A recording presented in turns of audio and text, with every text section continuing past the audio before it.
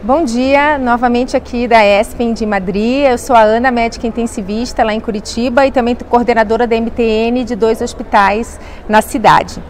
A palestra hoje que me coube foi sobre reabilitação após a terapia intensiva do, do paciente crítico, né? A primeira palestra falou sobre a relação entre a imobilização e a inatividade e o declínio muscular do paciente. O foco principal foi a demonstração que a imobilização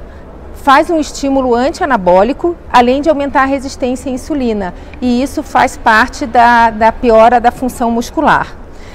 E o que é contado é que essa relação, apesar de ser sabida, nós, e aí o palestrante falou nós como mundo, não somos bons em mobilizar precocemente o nosso doente, apesar das evidências de que isso é importante e foca bastante de que não só a nutrição é importante, que a gente tem que realmente, junto com a fisioterapia, mobilizar o nosso doente precocemente.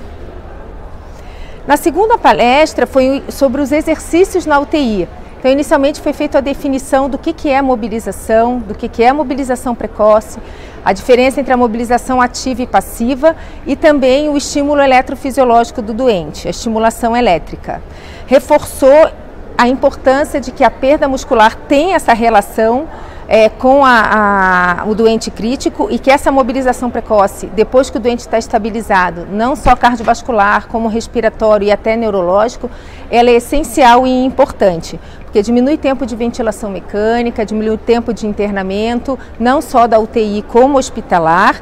e também mostra um desfecho melhor funcional, já que isso é a importância hoje em dia, não só o que fazemos dentro da UTI, mas como a gente vai devolver esse paciente para a sociedade e volta a, a dizer e reforçar a importância da nutrição junto com a reabilitação física, o exercício de resistência, para que tenha essa recuperação melhor. E a última palestra, é, na verdade, mais ou menos no mesmo sentido e no mesmo foco, mostra que a gente tem que ter na nossa cabeça que a inflamação sistêmica ela persiste por até 3, 4 meses depois que o doente sai da UTI e mostra um trabalho que demonstra que a PCR do doente pode ainda ser muito alta até depois desse tempo, mostrando que o doente ainda está inflamado. E um trabalho que o palestrante vai publicar ainda agora esse ano, mostrando que já nos primeiros dias, com cortes tomográficos, a gente já tem infiltração gordurosa substituindo a massa magra, reforçando aquela perda de quase um quilo de massa magra por dia de doente crítico, e que isso faz com que a perda funcional muscular seja muito importante.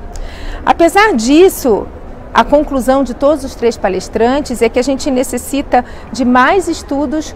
para que a gente saiba o que fazer para bloquear essa infiltração gordurosa e bloquear essa perda da massa magra. Por enquanto, o foco é a nutrição e o reforço na imobilização precoce.